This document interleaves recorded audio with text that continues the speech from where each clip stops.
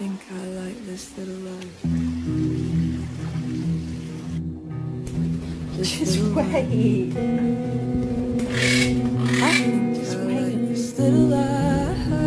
All right, darling, come here. This silly little life.